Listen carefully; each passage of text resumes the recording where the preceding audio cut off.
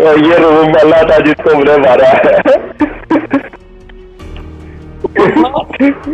Room वाला मेरी class का लड़का जिसने रूम बना के चैलेंज किया था।